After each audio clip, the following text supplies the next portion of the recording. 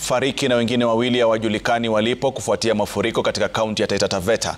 Aidha, takriban wakazi elfu tano wa vijiji vya Msambweni na Kaloleni eneo bunge la Voi wameathirika na mvua kubwa inayozidi kunyesha huku mto Voi ukivunja kingo zake. Nyumba na mali ya wakazi yao zimesombwa na maji huku baadhi wakishindwa kutoka kwenye nyumba zao.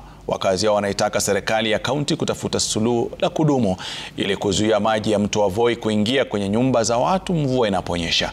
Wakazi hao wanaliomba shirika la Msalaba Mwekundu kufika eneo hilo na kuwasaidia kina mama na watoto waliokwama katika nyumba zao.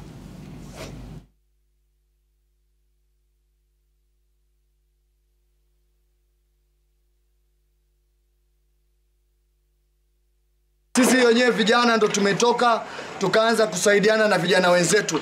Kuna watu tumewatoa katika nyumba walikuwa juu ya madari kule.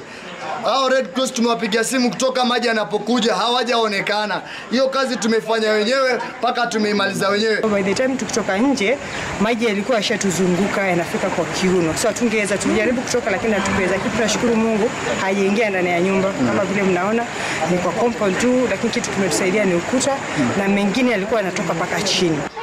Yaani hata kulala hatujalala, tunasikitika, hakuna msaada wote has from morning till now.